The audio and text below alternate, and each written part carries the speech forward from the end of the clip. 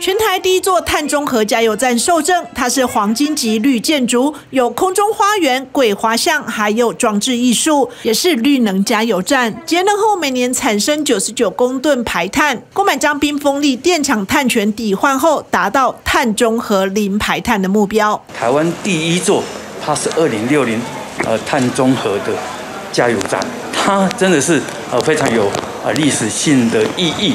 前锋路加油站也是全台首座多元智能能源绿能加油站。一百一十年度依实际监测结果，每年节省下来的排碳量达到二十五公吨。透过这样子一个自己产能、自己用能、自己储能，形成一个呃智慧化的能源管理系统。成立全台首座碳中和加油站，董事长十分自豪。他强调，正以行动朝向总统宣誓的二零五零年全台近零碳排的目标努力。